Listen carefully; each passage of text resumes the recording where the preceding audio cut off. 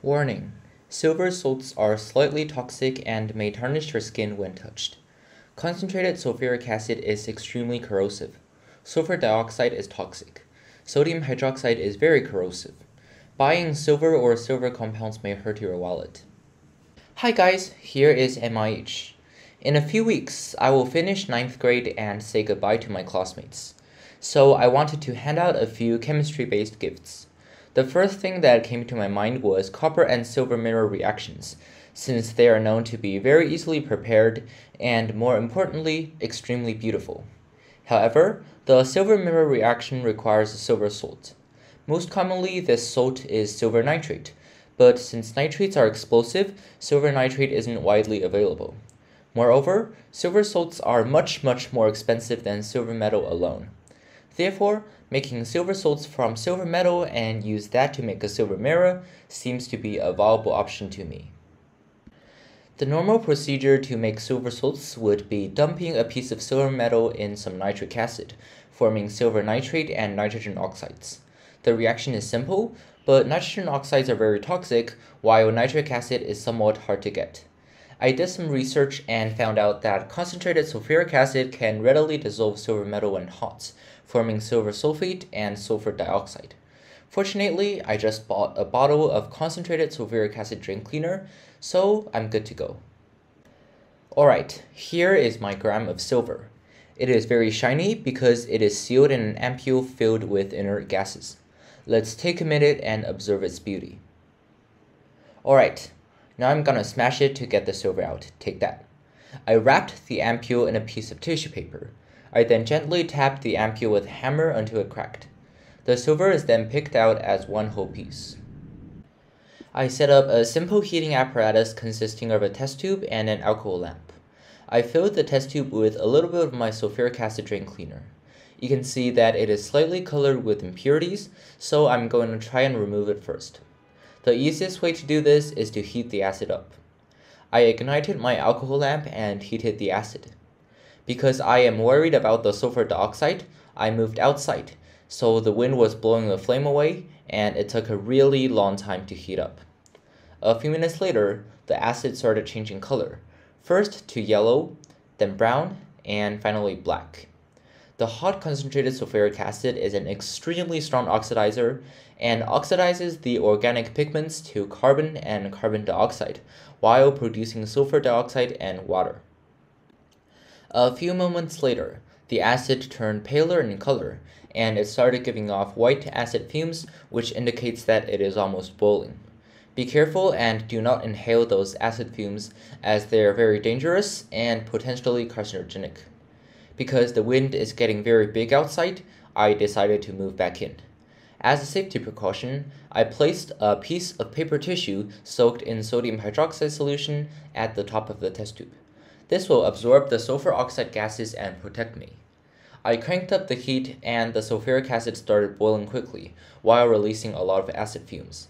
It should be noted with importance that sulfuric acid has a huge tendency to boil unevenly and violently when heated to high temperatures. So when the acid stops bubbling suddenly for a few seconds, you must remove the heating. The acid may boil violently and crack the test tube, destroying everything near it, including your hand. The paper towel soaked in sodium hydroxide was working pretty well, and I can only see a little bit of fumes released out. Because the boiling became a serious issue, I added some glass fragments to the acid. This sort of worked, but it didn't work as well as I wished it to be. Note that normal zeolite or porcelain cannot be used, as it will be decomposed by the acid. After heating for about 10 minutes, the color of the acid didn't disappear, so I decided to just proceed on. I carefully dropped in my piece of silver, and it reacted very very vigorously even without external heating it releases a large amount of gas, mainly sulfur dioxide, along with a little bit of water vapor and sulfur trioxide. The sodium hydroxide towel proved to hold up perfectly. A minute later, the reaction slowed down a bit, so I restarted the heating to get it going again. As I said before, boiling hot concentrated sulfuric acid is an extremely powerful oxidizer, and it can oxidize silver to form silver sulfate, sulfur dioxide, and water.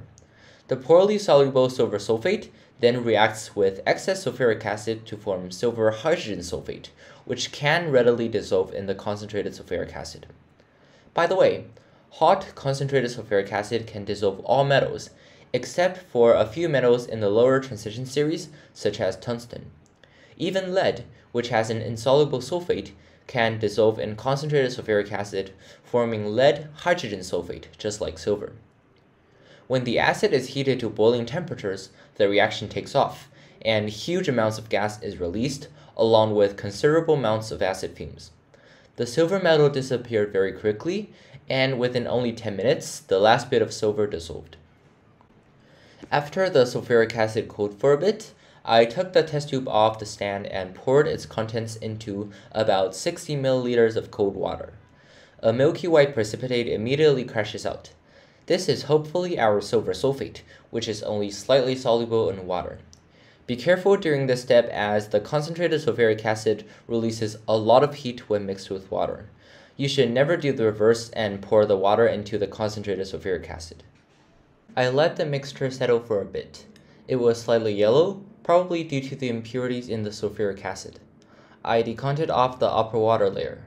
It was still a bit murky though, as some of the salts didn't settle to the bottom. I will add sodium chloride to this solution later to recover the silver.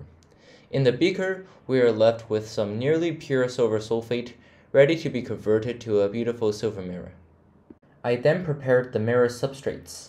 Many people prefer glass vials since they're cheap and sealable, but I don't have any on hand. I decided to plate the mirror directly on four watch glass pieces, which should create a nice spherical surface mirror and, when larger, even capable of focusing sunlight and igniting a match. I plan to do one of those large mirrors later. I place those watch glasses in a solution of hot concentrated sodium hydroxide. This will wash out the greases on the watch glasses, which should be minimal since they are brand new. After about 5 minutes, I took them out and washed off the sodium hydroxide with some water. Now I can prepare my silver mirror reagents. I made a roughly 5% ammonia solution by diluting some concentrated ammonia and slowly added it to a solution of the silver sulfate, made from about 0.2 grams of the salt and 10 milliliters of water. Interestingly, the solution cleared up instead of forming precipitates. Since silver sulfate is poorly soluble in water, the amount of silver ions in the solution is very little, which explains why it didn't form precipitates. Instead, the ammonia directly dissolved the silver sulfate to form diamine silver ions. This is called the Tollens reagent, and it is a mild oxidizer. We can then react it with a mild reducer, such as an aldehyde, to make silver metal, which will deposit on the surface of the container as a silver mirror. The aldehyde for choice here is glucose, since it is cheap and non-toxic. I measure out 3 grams of glucose monohydrate and dissolve it in about 30 milliliters of water. I pour about 10 milliliters of the Tollens reagent in both of the watch glasses and poured about 10 milliliters of the glucose solution in both of them. Contrary to what I expected, nothing happened even after half an hour, while many other people are finished within 20 minutes. I am really worried if the reaction even worked, or if the white powder we made earlier is actually silver sulfate. To my relief, a definite mirror formed on the next morning. It wasn't especially perfect, and the color was a bit tarnished, which made it less reactive than expected, but I think that made it look quite beautiful in some way. Delighted by the success, I decided to make two more watch glass mirrors using the same recipe but doubled the concentration. This time I noticed that the glucose cooled the water down considerably when it dissolved in the water, which is probably why the reaction is proceeding very slowly. I also decanted off the solution in the two finished mirrors and filled in some new ones, which should make it shinier and more polished. Here are some pictures showing the growth of the mirrors.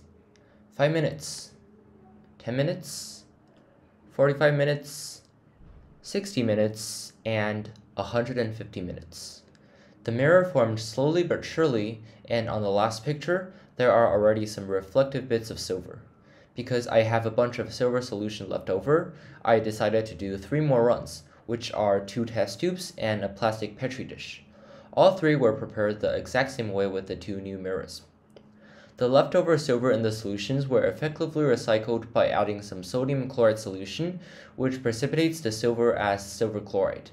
This can be then dissolved in ammonia to make the Tollens reagent again. However, be careful storing silver chloride as it easily decomposes back to silver when exposed to light. Anyways, I think this first trial of the famous silver mirror reaction ended up in brilliant success, although with some trips and falls. I feel great that I successfully recreated such a beautiful and famous reaction, and that gives me confidence to try something harder next time, like a copper mirror. See you soon!